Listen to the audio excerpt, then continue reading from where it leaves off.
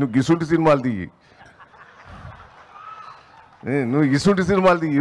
పెద్ద పెద్ద వందలు వేల కోట్లు ఖర్చు పెట్టి అదిగా తీసుడు. నాకు అవి నచ్చలేవు డబ్బులు ఓ డ్యాన్సులు ఈలలు అవన్నీ బంద్ చేయి ఇక. వింటానవా? ఇక కొట్టుకునుడు గున్నుకుడు అవన్నీ వద్దు. ఇది సూపర్ సూపర్ సూపర్. ఒక్క తగాద లేదు కొట్టుకునేది లేదు డ్యాన్సులు లేవు యుద్ధాలు లేవు తుపాకులు లేవు.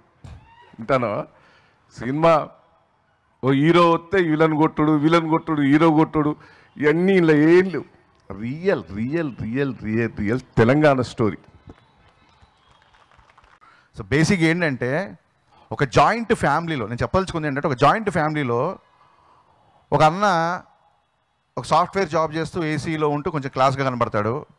ఇంకో తమ్ముడు సివిల్ కాంట్రాక్ట్ చేసుకుంటూ ట్వంటీ ఫోర్ అవర్స్ ఎండలో ఉంటాడు. ఇంకోడు బిజినెస్ చేస్తుంటాడు.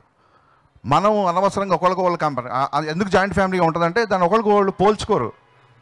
ఈ క్లాస్గా సాఫ్ట్వేర్ చేసేవాడిని సివిల్ కాంట్రాక్ట్ చేసేవాడు తిట్టాడు సివిల్ కాంట్రాక్ట్ చేసి తక్కువ సంపాదించిన వాడిని నీకంటే నేను ఎక్కువ సంపాదించిన తిట్టాడు. అందుకే ఆ జాయింట్ ఫ్యామిలీ అలా ఉంటుంది. ఇండస్ట్రీ అనేది అలాంటి జాయింట్ ఫ్యామిలీ. ఒకడు మూడు వందల కోట్ల సినిమా తీసినా ఒకడు మూడు కోట్ల సినిమా తీసినా మన సినిమా.